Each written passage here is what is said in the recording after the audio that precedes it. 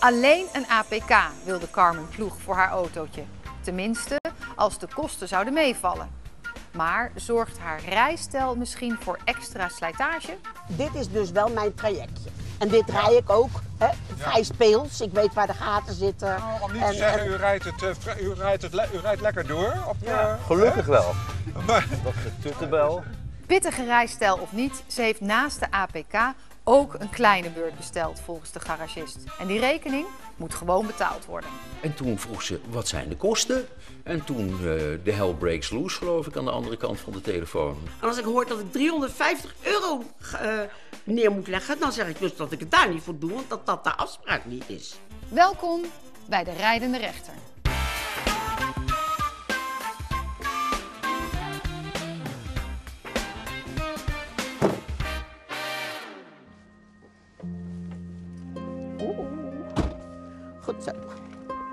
Sluip door, kruip door. Die kant maar. Of hier tussendoor mag ook. Kom maar. Habbelen, habbelen. Komt u maar, komt u maar. Gaan wij eens even trein op. Hier is, eh, het, we komen van het huis van mijn moeder. Hier hebben we een receptiegebouwtje laten maken. eh, om toch een beetje een eh, ja, ontvangstgezicht te hebben. En daar zit ik zelf in mijn caravan.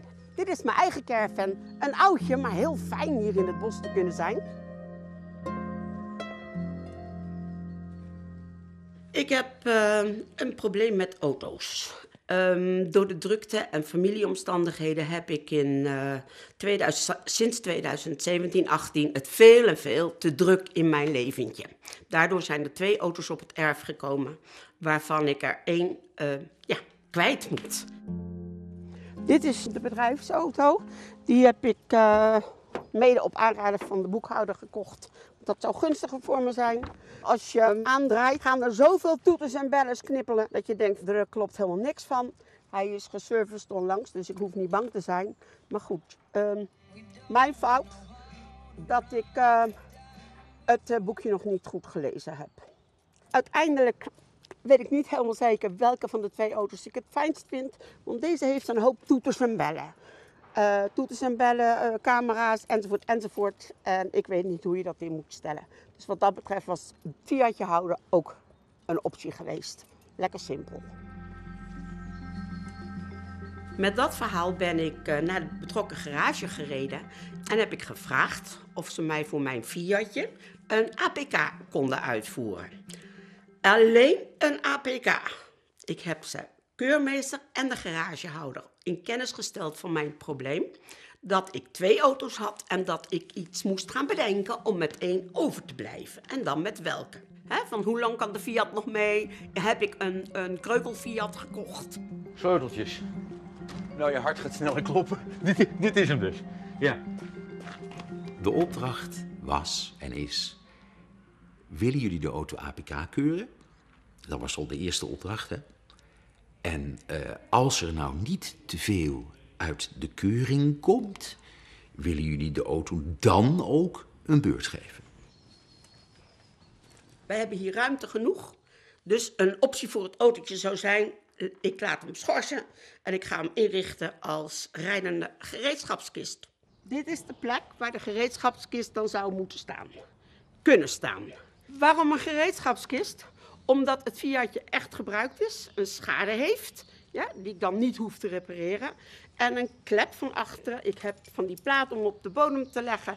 Dus ik kan een hele hoop van deze dingen gewoon bij me hebben dan als ik een klus ga doen. Als ik nou iets zou moeten doen, dan moet ik soms wel drie, vier keer op en neer. En ik moet gaan zoeken of ik het hier heb, of ik het bij mijn moeder in de garage heb, of het achter in de auto van mijn zoon ligt, of dat ik het misschien onlangs thuis gebruikt heb.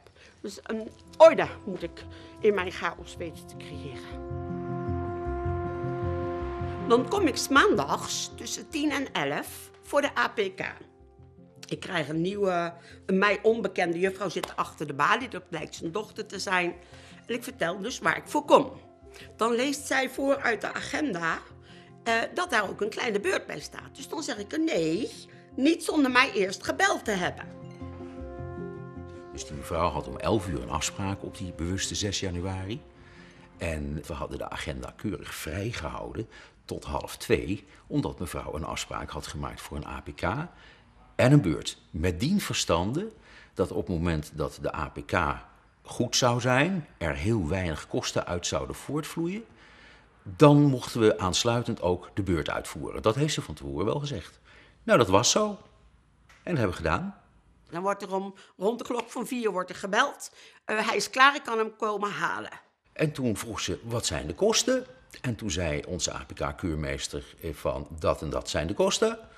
En toen eh, de hell breaks loose, geloof ik, aan de andere kant van de telefoon. En als ik hoor dat ik 350 euro eh, neer moet leggen, dan zeg ik dus dat ik het daar niet voor doe, want dat dat de afspraak niet is. Toen eh, schoot ze helemaal in de stress. En wat daar de achterliggende gedachte van is, weet ik niet, want ik kan niet denken en beslissen voor een ander. Maar het enige wat wij wel kunnen doen, is strikt de opdracht uitvoeren van de klant. Dat doen we bij iedere klant, dus ook bij deze klant. Zo simpel is het verhaal. Ik heb expliciet van tevoren gevraagd, ja, kan je mij, voor mij alleen een APK doen? Nu, vervroegd, zo gauw mogelijk.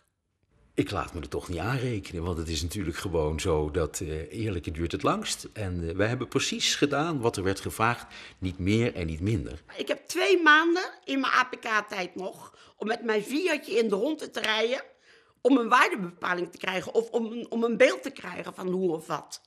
Ja, en die is mij ontnomen door deze garage. Op het moment dat jij aan mij een opdracht verstrekt van... joh Ed, wil je dat en dat aan mijn auto doen of iets anders? Dan doe ik dat. En dan spreek je dat dus eigenlijk op die manier samen af. En op het moment dat je achteraf zegt van ik heb dat helemaal niet gezegd... ja, dan ben je eigenlijk gewoon een klein beetje een liegbeest. Wat meneer Hartendorp erin geduwd heeft, ja, is absoluut onnodig geweest, niet gewenst geweest en weiger ik ook te betalen. Dit is de auto van mevrouw Ploeg. Ja. En eh, ja, hij staat hier nu eh, stil. Vanaf eh, 6 januari, eh meen ik. Ja, tot nu eh, heeft hij op deze plaats gestaan. Kijk, dan is het mooi dat ik een tweede auto heb. Toedeledokie. Ja, maar ik heb hem wel twee weken geleden laten schorsen. Want ik kan deze kosten niet aan. Dit is extra kosten in plaats van minder kosten. Stilstaan is achteruitgang. Dus, eh, maar ja, een paar weken, het valt wel mee. Hij zal het nog wel doen. En als je één keer tot de rotonde hier rijdt, dan is alles weer goed. En de bandjes weer een beetje lucht erin. Mag ze nog kiezen gratis tussen boslucht of zeelucht. Maar dat zal er wel in moeten. Maar voor de rest is hij goed. Ja. Geachte meester Riet, rijdende rechter. Ik eis van garage Hartendorp dat ik eh, niet meer dan alleen de gevraagde APK moet betalen. En dat meneer Hartendorp of een van zijn monteurs mijn autootje terugbrengt naar het adres van de camping in het dorp. Rijdende rechter, mijn eis is dat mevrouw Ploeg de openstaande nota van 355 euro en 33 cent gewoon aan ons overmaakt. En verder niks. Welkom in de studio beiden. U zei het zelf al, u wil dus een rijdende gereedschapskist. Ja, dan besluit ik om de schade niet te laten herstellen. En dan blijft hij op eigen trein. Dus dan is er een oplossing voor mijn probleem. Had u dat duidelijk gezegd tegen ja, meneer de ik garage? ben eh, voor de APK-keuring ben ik naar de garage gegaan om mijn situatie uit te leggen. Meneer Hartendorp is daar zelf bij geweest, samen met zijn keurmeester. Maar heeft u duidelijk gezegd van ik weet niet of ik met deze auto de weg op ja, wil? jazeker, want ik He- heb ook... Heeft mevrouw dat gezegd? Als zodanig kan ik me dat niet herinneren. Nee, nee niet als zodanig. Nee. Maar als mevrouw aangeeft van goh, misschien wil ik hem wel gebruiken als een auto alleen op de camping, dus als een rijdende gereedschapskist, Ja. Dan had u misschien kunnen zeggen van dan is een APK helemaal niet nodig. Als, die, als mevrouw dat zou hebben gezegd, zou dat best logisch kunnen zijn. Alleen het is mij zeker niet ter oor gekomen. Ja. ja, dat is lastig, want u zegt allebei iets anders. Feit is dat er nu een nota ligt van 355 euro, 33 cent om precies te zijn. Ja. Wat gaat er nou mis? Het is dodelijk simpel, echt dodelijk simpel. Mijn keurmeester had haar aan de telefoon en die zei: Joh, het zijn een paar hele kleine dingetjes. Het was bij elkaar echt minder dan 20 euro. Dus dat is voor een APK uniek weinig voor zo'n Ja. oude auto. En toen heeft hij gevraagd: Heb ik nu de goedkeuring om de beurt uit te voeren? Dus Nee, dat, is, dat gesprek heeft niet plaatsgevonden. Echt niet. Helemaal echt, echt niet. Ja? Bovendien kan ik dat bewijzen door het feit dat ik om, eh, ik geloof 14 uur 8, er dan maar een mailtje uit doe met weten jullie al wat? Dan bedoel ik, weten jullie al of mijn autootje reparabel door de APK komt? Ja. Tegen, in een laag Voordat budget. er misschien eventueel gebeld is. Ja. Maar er is niets, want ik hoor net toch dat u ergens een soort akkoord zou hebben gegeven. Nee, dat heb ik niet. Absoluut niet, mevrouw. Een een gereedschapskist, twee maanden voordat ik een beslissing moet nemen, ga ik toch niet extra geld in pompen? Ja, op zich een logische gedachte. Ik- Vanuit haar ik denk, standpunt? Ik denk dat ieder mens haar, zo haar eigen logische gedachten heeft. Het is zo als je... Nee, maar dat, dat snap ik. Maar is het niet uw verantwoordelijkheid om duidelijk te hebben wat iets gaat kosten? Het is mijn verantwoordelijkheid zeker om duidelijk te zijn wat iets gaat kosten. Mhm. Mevrouw komt de auto brengen, vraagt expliciet of er na eh, de keuring, als er niet te veel uit zou zijn gekomen, of we alsjeblieft even willen bellen. Heeft ze inderdaad al zes, acht keer gezegd of we dat wilden doen. Ja. Dat konden we niet doen, want ze was ons voor.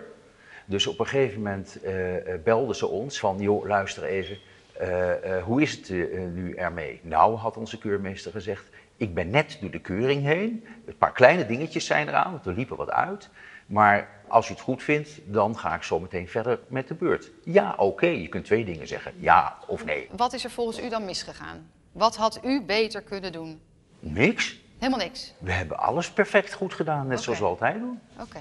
Mevrouw, kan het misschien zijn dat u heeft gezegd van, eh, oh ja, beurt, APK, dat u dat door elkaar heeft gehaald? Nee, ik heb expliciet gevraagd of ze alleen een APK konden uitvoeren voor me. Ja. Maar het Ja. is toch gek, want meneer, Meneer blijft kruipt zeggen... in mijn portemonnee. Welk recht heeft hij om in mijn portemonnee te kruipen? Meneer heeft mij niet gevraagd. Nee, in mijn bijzijn is de eh, notitie in de agenda niet eens Ja. gemaakt. Nou ja, we laten het Maar- hierbij, want we komen er gewoon niet uit. Ik ben benieuwd, want die auto die staat dus nu nog op uw terrein. De auto staat nog bij mij op het terrein. En u eist nu Dat ik Dat- hem eh, zo snel mogelijk terugkrijg. Eh, dat hij thuisgebracht wordt. Ja. En dat ik niet meer betaal als datgene wat ik gevraagd heb. Want u zegt, ik heb hem geschorst nu. Ja, Ik wil niet meer dat ik hem voor dat ene ritje nee, dan ga ik hem weer niet moet aanmelden. nee. nee. Wat vindt u van de eis? Ik vind het een vreemde eis. Eh, mevrouw is al sinds 2012 klant en heeft elk jaar onderhoud of iets anders uit laten voeren. Er is nooit één woord van probleem geweest. En nu ineens, eh, eh, ik, ik heb geen idee, ineens zijn we schijnbaar een raar bedrijf of zo. We hebben het heel correct gedaan. En ik wil gewoon mijn centjes en voor de rest wil ik helemaal niks. Nou, de auto staat nog steeds op uw terrein, dus hoog tijd voor meester Reed om te kijken wat de staat van de auto is.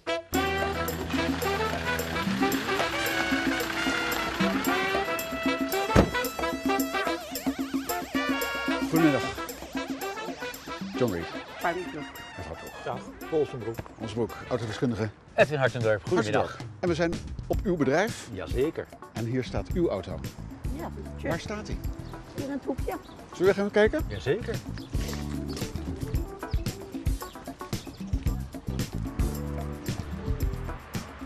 Dat is hem. En dat is hem. Dat is het eerste nieuwe autootje in mijn leven geweest. Nieuw, kijk eens aan.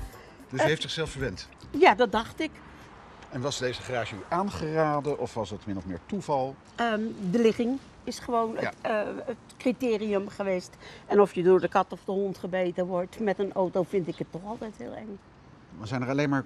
Wordt u, wordt u altijd gebeten door garages? Zo ervaar ik dat door de meeste er, ehm, garages wel. Ja, wat Ja. vervelend. Maar bent u altijd bij eh, deze garage geweest? Deze garage heeft in principe eh, hier het Ja. onderhoud Dus heeft hem toen u hem voor het eerst kreeg, was het zeg maar de, eh, een nieuwe auto? Toen was hij maar een paar maanden oud. Ja, Zullen we hem even naar binnen brengen? Ja, en dan dat eh, is terugzetten? dat is prima.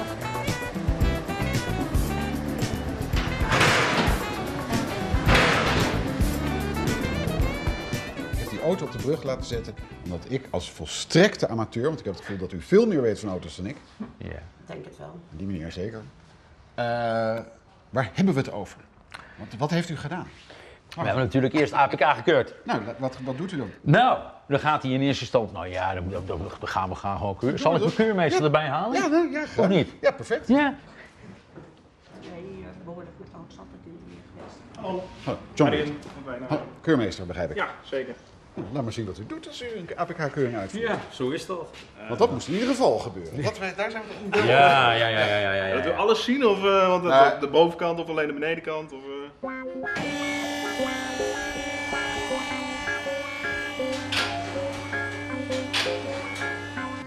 dat hoesje, daar zit dus een scheurtje in. Nou, daar hebben Wat is wij dat voor een hoesje? Een fusékogelhoesje. Wat is een fusékogel? Eh, daar is de verbinding tussen de draagarm hier met de, met de carrosserie en het fusee. Dus daar draait je wiel omheen, zeg maar. Nou, dat hoesje mag niet kapot zijn, want er komt er vuil en vocht bij. En dan kan het kapot gaan. Dus om kosten te besparen, een klein likje kit. Zodat, eh, want als we het hoesje gaan vervangen, ben je gauw een half uur tot een uur verder. Kosten 100 euro. En nu kost het niks. Niks. Niks. Nou, dat is goedkoop. Ja, toch? Er is in, eh, in, eerder in het onderhoud is er al iets eh, gerepareerd in die, Aandrijven eh, als hoes. eh, gedaan. En dan is mijn vraag van, mag dat dan ongelijk eh, lopen? Hè? Ik verwacht dan als iemand zo eh, mijn dealer zou zijn, dan zou hij zeggen van nou Carmen, dan, dat komt eraan en dat moet wel gelijkzijdig. De hoesjes dan. Ja, de hoesjes of hè, een beetje toelichting. Mag, ik, mag ik hier iets simpels over Misschien zeggen? kan ik dat neutraal doen, Ja. want dat is niet zo, mevrouw Ploeg. Oké, Die hoesjes die mag je los van elkaar vervangen. Dat zijn dingen die, hoor, die kom je met onderhoud tegen. En wat nog meer? Wat nog meer kwam ik tegen, dat was, eh, eh, moeten we eigenlijk de auto weer laten zakken, een koelvloeistofreservoir waar geen dop op zit.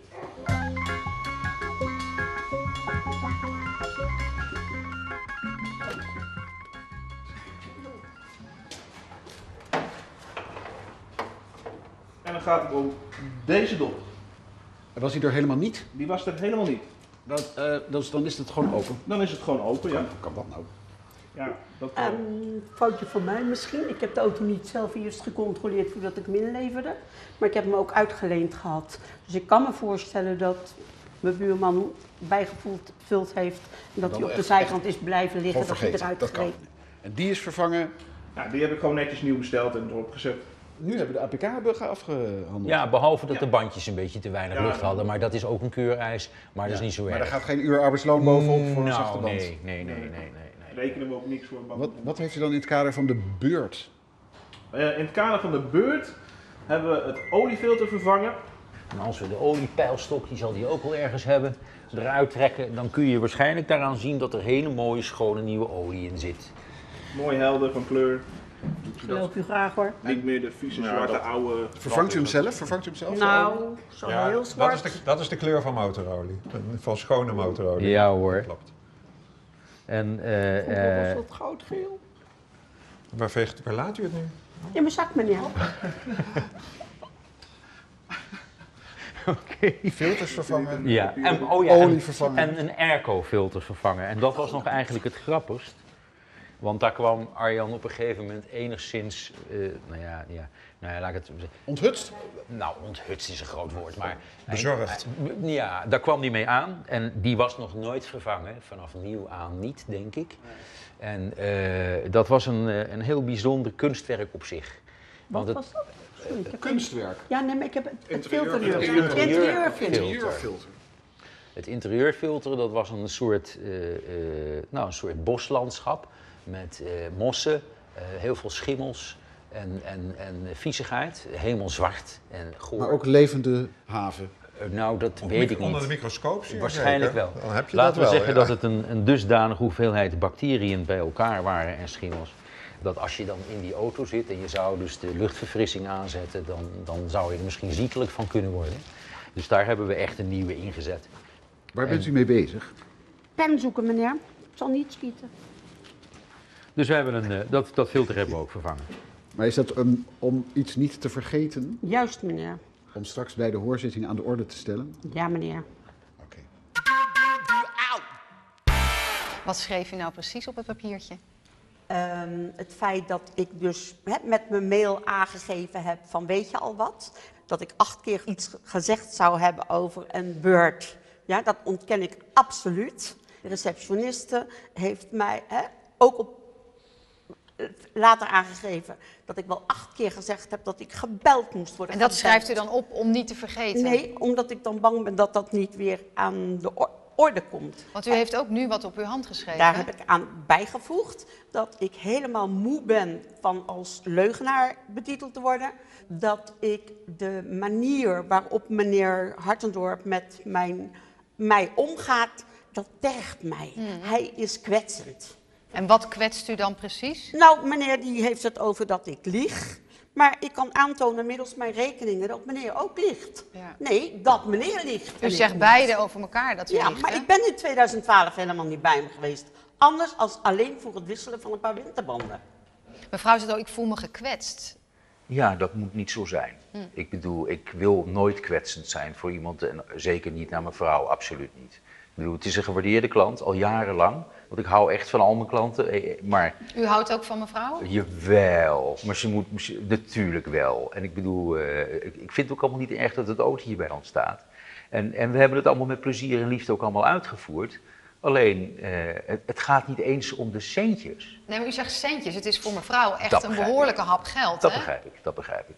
Maar je kunt niet natuurlijk tijdens de wedstrijd in één keer de spelregels gaan veranderen. Zo ziet u het. Absoluut. En, dat, en daar word ik een beetje, ja, da- daarom ben ik hier. Ja, Ja. helder. Wat vindt u ervan dat, eh, dat een klant eigenlijk mee wil kijken wat u allemaal onder de motorkap doet? Oh, vind ik helemaal niet erg. Ik vind het alleen maar leuk. Ervaart u dat ook zo, dat het wordt toegejuicht? Nee. Ja, en ik heb ook in het verleden een reparatie aan de auto gehad bij meneer Hartendorpse garage. Ehm, nieuwe remschijven voor een autootje van twee jaar? Vertrouwt u garagisten überhaupt niet? Nee. En waarom niet? Omdat je te vaak dingen eh, eh, gedaan krijgt waarvan je denkt, hoe kan dat? U hoort het. Het is dus een beetje twijfelachtig wat er allemaal gebeurt in de werkplaats. Ja, ik vind het altijd bijzonder dat op het moment dat er nu in haar perspectief iets niet goed is gegaan, dat je dan dus alles vanuit het verleden dus gelijk in twijfel gaat trekken. Maar we hebben dingen gedaan in het verleden die moesten. We hebben nooit dingen gedaan die niet moesten. Nee. Ja, wat er bij u onder de motorkap gebeurt, dat weet eigenlijk alleen u. Maar hoe u rijdt, dat weet ook u alleen. Dus de vraag is nu, heeft de rijstijl invloed op de staat van de auto? Dat zien we nu. Dan mag de klep nu weer dicht. Gaan we doen.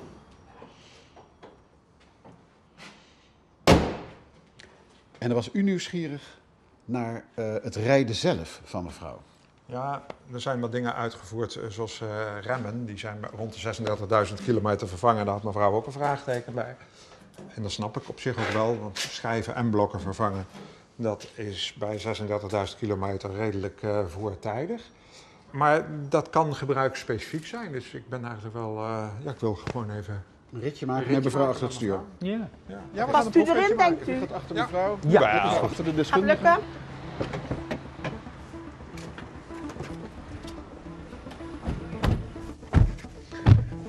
Zelfs nog wel een stukje naar voren. Dit gaat. Zo, zo zeg. Nog nooit zo'n keer vol gehad.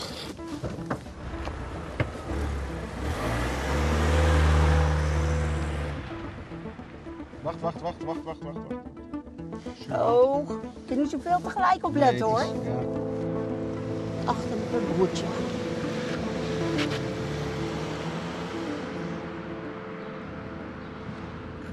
Van mij mag het eraan dicht, maar ik weet niet. Ja, Oh, hoor, van pardon. mij mag het raam ook dicht. Ja. Alsjeblieft. Dit is eh, een route, daar zitten wat van die bulven in. Ja. ik weet dat ik daar zo voorzichtig mogelijk mee om moet gaan. En die route naar mijn huis, die ik dus tussen de camping en mijn huis rijd, die is ook weer bezaaid met van die prettige drempels. Ja, ja, ja.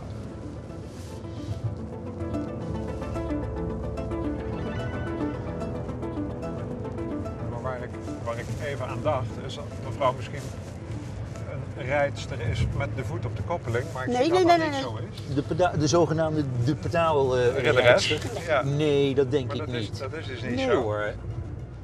Nou, dit is nu zo'n weg. En dan vind ik het ook wel leuk om hem te rijden. Je ziet mevrouw heel veel remmen. Mevrouw remt ook best stevig. Ja.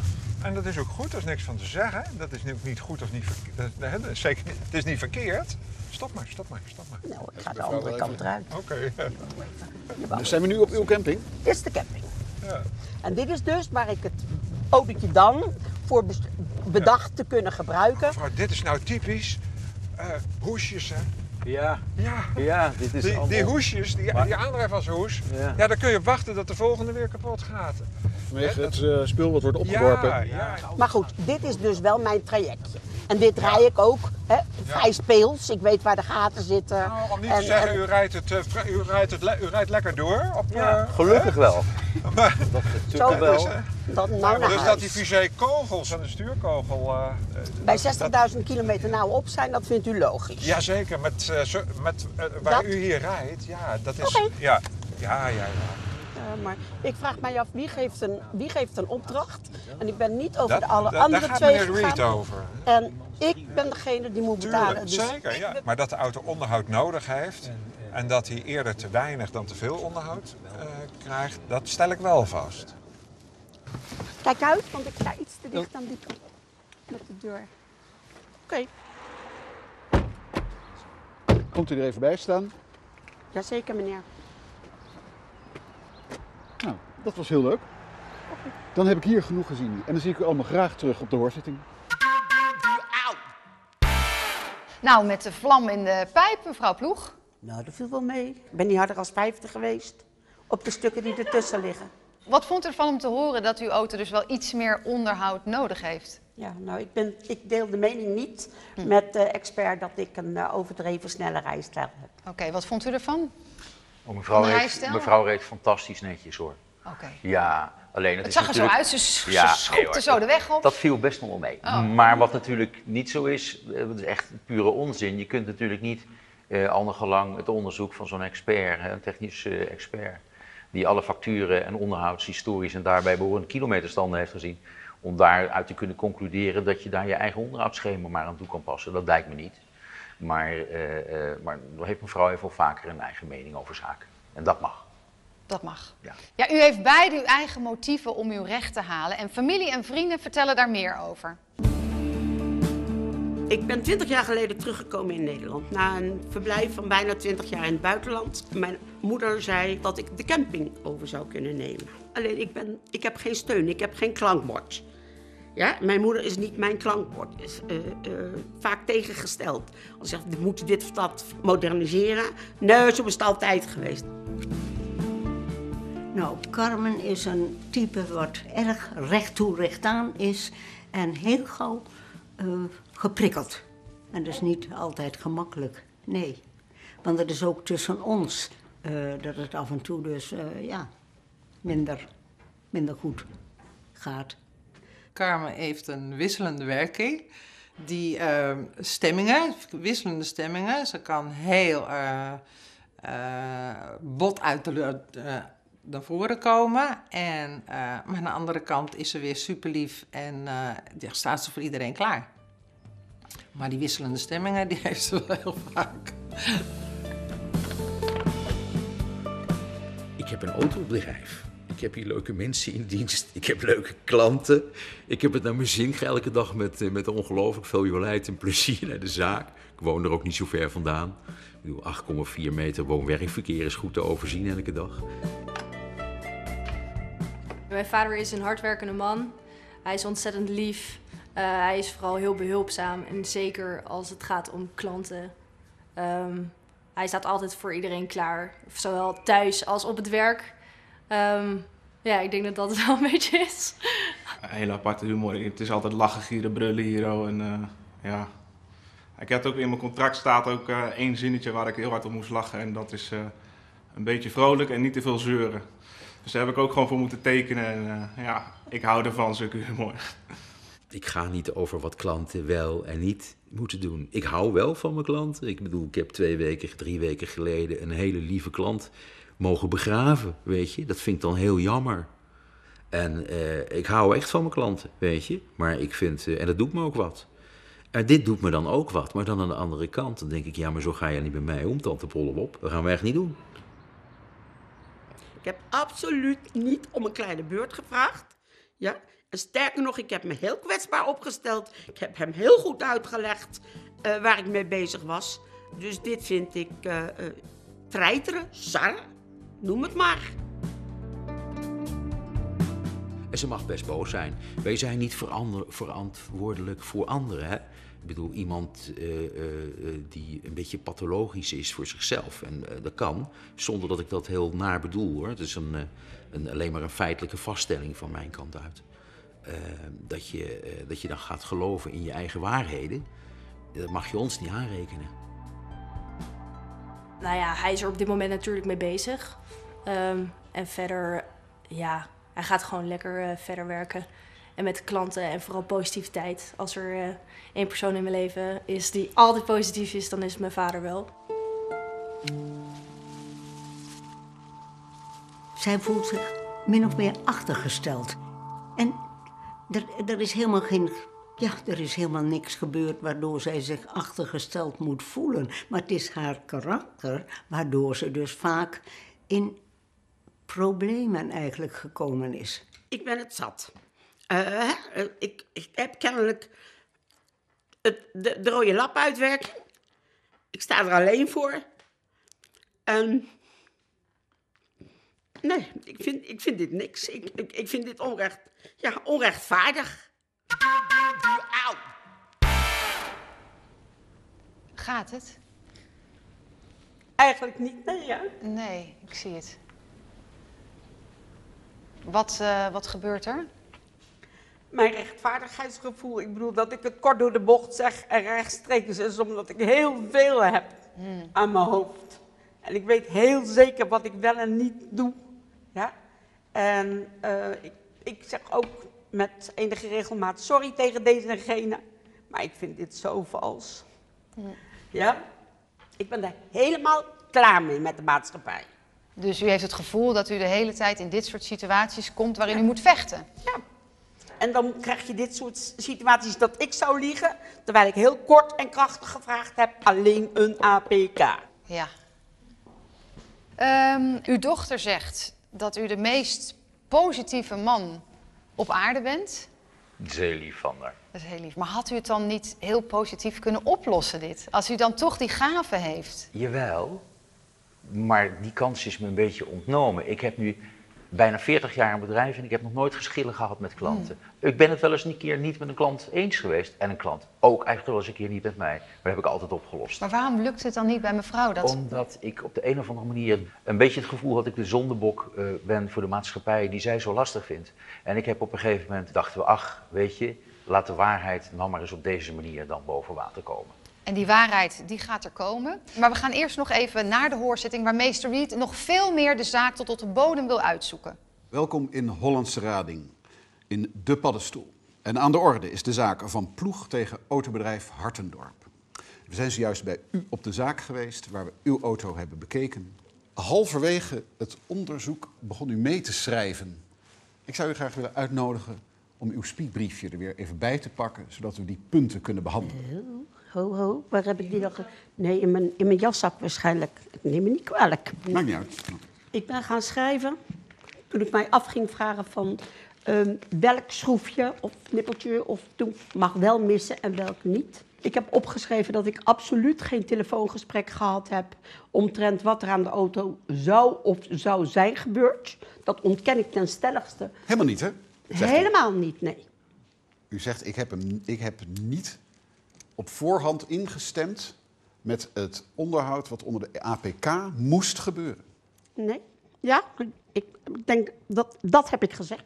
Ja, eerst even mij bellen. Degene Dat- die u heeft gesproken toen u die auto afgaf, is mevrouw Hartendorp, toch? Ja, dat ben ik. Wat is er volgens u gebeurd? Ehm, zij kwam bij mij aan de balie en eh, er stond in mijn boek een APK plus een kleine beurt. Dus eh, Ik onderbreek u meteen. Wie heeft dat dan daar opgeschreven? Een van mijn collega's. Ik Iemand. denk Arjen. Ik heb geen idee. Maar u ziet in het boek staan APK Juist. plus kleine beurt. Mevrouw zegt, eh, ik weet nog niet zeker of ik de kleine beurt wil laten uitvoeren. Kan je mij alsjeblieft bellen na de APK? Als het dus zoveel geld kost, dan ga ik het waarschijnlijk niet doen. Laat ik hem schorsen en dan zet ik hem in een schuur. Klopt, heeft ze echt oprecht acht keer gezegd. Ze zei, druk het op je hart, dan moet je me bellen. Dus nou, zodoende heb ik afgesproken, klopt helemaal. Alleen, Arjen die liep iets uit met de APK en mevrouw die belde ons. Terwijl Arjen nog bezig was met de APK. U neemt op. En toen? Nou, toen eh, zei mevrouw, hoe is het met de auto? Ik zei, nou, ik ben eigenlijk nog bezig met de auto. Ik zeg, en er komen een paar kleine dingetjes uit. Nou, dat zijn geen hoge kosten. Het is een lampje, een dopje en een beetje kit. Toen zei ik, nou, ik, dan eh, is de APK geregeld en dan ga ik de beurt doen. En toen zei mevrouw, oké, is goed. Nee, absoluut niet. Ik heb jullie niet gesproken. Ja, ik, het is niet voor mij voor het eerst dat mensen iets, een, een ander verhaal vertellen, maar het blijft, blijft altijd verbazen. Mij ook. U zegt, ik heb mevrouw aan de lijn gehad. 100 punten. Deze mevrouw. Ik neem twee maanden extra om mijn gedachten op te kunnen maken, om besluiten te nemen. Ja, ik leg beide personen uit dat ik een probleem heb. Ja? En dat ik dus budgetair op moet passen. Als ik ze dan ook nog vertel dat ik hem misschien wel schors voor de rest van zijn leven, ja, dan is het toch niet aan hun om te bepalen dat er nog nieuwe olie in moet, omdat hij in, op, eh, in de schuur gaat. Maar mevrouw, is het niet zo dat u ons dan inschat als betamelijk afgestudeerde psychologen, zodat we u allemaal moeten gaan begrijpen? Want dit begrijpt niemand meer. Het enige is, wij houden van oprechtheid en de waarheid, en dat is wat er hier door ons gesproken wordt. En ik vind het heel jammer eh, dat u dat zo raar afdoet. Uw dochter zegt net dat, ze dat ik er wel acht, vijf tot acht keer op het hart verteld heb hè, dat ik geen kosten wil maken. Dus waar haalt u de onzin vandaan? Nee, U heeft niet gezegd, ik wil geen kosten maken. Wil, ik zou graag gebeld worden. Dat heeft u mij acht keer gebe- geprobeerd te zeggen. Is binnengekomen hoor. Ik wil graag gebeld worden. Ik wil graag gebeld worden voordat er een kleine beurt uitgevoerd wordt. Nee, dat woord kleine beurt heb ik helemaal niet genoemd. Zou ik mogen uitpraten? Zou u mij willen bellen als de APK klaar is? Zou ik het zo formuleren? Dan kunnen we kijken hoe of wat. En ik heb het helemaal nooit over een beurt gehad, totdat ik over de balie keek bij uw dochter en een kleine beurt zag staan. Want ik begon met te vragen of ik op kon wachten. Ik had deze keer niet een fietsje achterin zitten, eh, liggen en ik had een hondje bij me, dus hè, kan ik erop wachten? Nee, dat kon niet, want ik stond voor later pas in het schema. Nou, ik, ik moet zeggen dat ik het respectvol vind, want ik ken niet zoveel mensen die via bovenaf, onderdoor, linksaf, rechtsaf elke keer op hetzelfde eindpunt terecht willen komen om te vertellen wat wij niet de jaarheid- waarheid vertellen. Maar dat gaat u best heel goed af. Ik ga even naar- over uw schouder kijken. Want eh, uw keurmeester is degene die volgens uw dochter in het boek had geschreven APK plus kleine beurt. Ja. Waarom heeft u kleine beurt opgeschreven? Omdat mevrouw kwam voor het voorkeuren van de auto. En die zei toen, als hij nou niet met al te veel kosten door de keuring komt, dan wil ik ook een beurt doen. Ja, maar ik heb niet gezegd... En, daarom, en toen heb ik dus gekeken naar de auto. Ik zei, nou, ik, zie, ik voorzie geen grote kosten. Dus toen zegt ze, nou, dan wil ik een afspraak maken voor APK en een beurt voor volgende week. Dat is niet waar. Niet? Nee. Het woord beurt niet? Niet in deze betekenis. Als je nou heel, heel, heel zeker wil weten of ik het woord kleine beurt in mijn mond gehad heb, dan is dat geweest in de context naar de eh, keurmeester toe, ja, in, van mijn plannen. Ik wil pas een kleine beurt laten doen, daar heb ik weer die twee maanden voor. Ja, als ik weet met welke auto ik verder ga, welke bestemming ik een auto geef. En nogmaals, ik ga toch geen 3,500 euro verspijkeren aan een auto die ik weg ga doen of die ik in de schuur ga zetten. Snapt u mijn psychologische verhaal nog even, wat ik daar net even zei? Want dat kunt u toch mijn keurmeester ook niet vragen? Ik bedoel, dat gaat niemand toch begrijpen zo? Wat iemands motieven zijn? Ik bedoel, het is geen hogere wiskunde dit. Ik bedoel, ze hebben gewoon een klant. En die klant die zegt, ik wil een APK en een beurt. Komt elke dag tien keer voor en nu weer. Alleen op iets andere motieven. En de keurmeester schrijft het op en we voeren het uit. En mevrouw heeft al helemaal uitgelegd en toegelicht hoe we dat hebben gedaan. En wat en dit en dat. En allerlei privéredenen, motivaties en kippenhokken en gereedschapskisten en, en, en, en, en schorsen. Denigrerend, hè? Meneer zo Nee, maar dat, is, nee, maar dat bedoel ik niet onaardig. Maar het is, Nee. ik, ik, ik stel alleen maar feitelijk vast wat u zelf gezegd heeft en voor de rest niet. Ik ben boos en voor de rest vind ik dat meneer zich steeds manipulerend en laatdunkend uitlaat. Ja, alles is een geintje, alles is zo mooi in het leven. Nou, niet in van iedereen. Dat is helemaal niet waar. Ik respecteer u enorm. Alleen het enige wat ik niet aan u respecteer in deze, is dat u ons voor eh, eh, leugenaar uitmaakt. En wij hebben voor u vanaf eind 2012 nagenoeg jaarlijks onderhoud mogen uitvoeren. En u bent al die tijd tevreden geweest.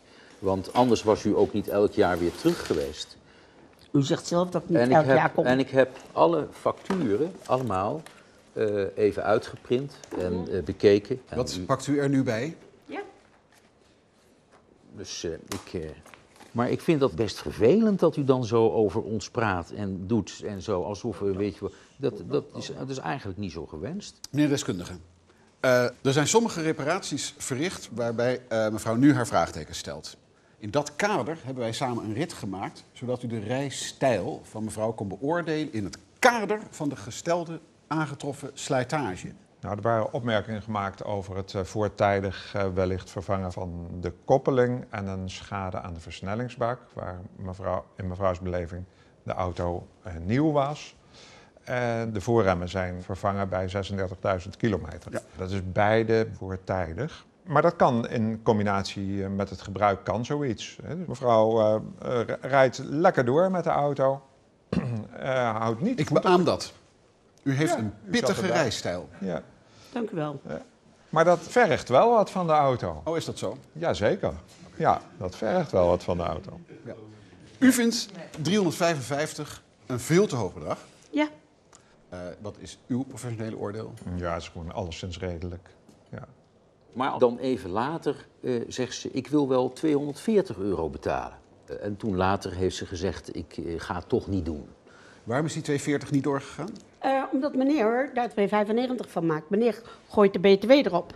Maar die 2,40 heb ik onderbouwd, meneer Riet. Ja, want ik ben gaan googlen en ik ben een oude rekening op gaan halen van een van de andere auto's in de familie. Ja, en dan is 2,40 een normale prijs, inclusief BTW voor een APK met een kleine beurt. Dus u weerlegt de technisch deskundige hier even mee, zeg maar. Ik leg helemaal geen technisch deskundige. Wie bedoelt ik? Wie, die Dat u zegt dat meneer Bolsenbroek ongelijk heeft, Wie, meneer? de deskundige daar. Want die zegt dat 3,55 een redelijke Ja, prijs is dat- voor dat een zeg eh, ik dan. jaarbeurt. Ja. Dan zegt u dat, dat betwist u dan. En dan zegt Ja, u, ja, dat wist ik. Sorry. dan heb ik hier genoeg gehoord. En ik zie u heel graag terug bij de uitspraak. Als zij moet betalen, heeft u dan eh, nagedacht of u dan gaat, eh, een, een betalingsregeling gaat doen? Want ze heeft natuurlijk het geld niet, dat weten we. Nou ja, dat weet ik niet of ze het wel of niet heeft. Eh, ik vind gewoon dat ze die. er is lang genoeg over nagedacht hoe groot de rekening was. Dat wist ze al op 6 januari. Dus eh, zo langzamerhand heeft ze wel gespaard, hoop ik. Heeft u het geld? Ja, ik heb het geld wel. Oké. Maar hij bepaalt niet wie.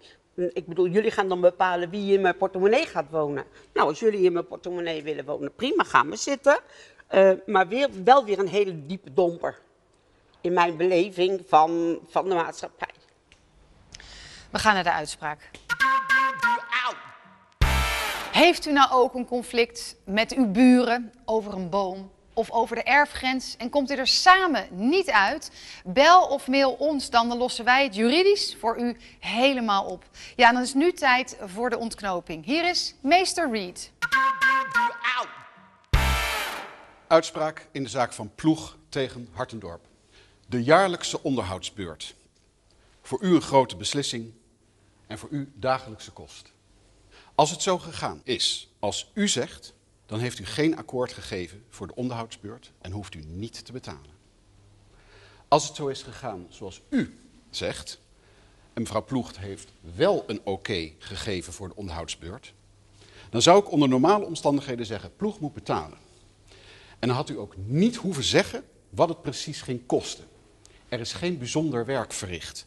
Filters en vloeistoffen zijn vervangen en de gefactureerde kosten zijn gebruikelijk en redelijk. Echter, het betreft hier niet een normale gang van zaken.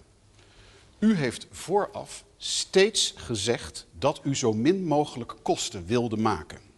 Dat heeft u niet betwist. En u wist ook, of had moeten begrijpen, dat mevrouw Ploeg zelfs overwoog de auto niet langer te gebruiken, dit gelet op haar financiële omstandigheden. In dit geval had u mevrouw Ploeg vooraf uitdrukkelijk op de hoogte moeten brengen van de kosten.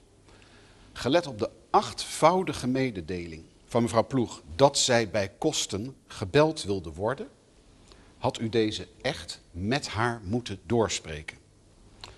De factuur van ruim 355 euro is bijna het tienvoudige van een factuur voor alleen de APK. U hoeft het bedrag voor de onderhoudsbeurt niet te betalen. U moet wel de APK betalen en u moet uw auto zelf bij Hartendorp ophalen. Dit is mijn uitspraak en daarmee is de zaak gesloten. Gefeliciteerd. Dank u wel. U heeft juridisch duidelijkheid, u ook. Ja, Hoe gaat u dit in de toekomst voorkomen? Ik weet het niet. Ik heb het mijn leven lang nog nooit meegemaakt dit. Dus het is de eerste keer. Maar het is een leermoment, denk ik. Ja, ik ben een beetje flabbergasted eigenlijk. Dit was De Rijdende Rechter. Bedankt voor het kijken. Graag tot de volgende keer. Dag.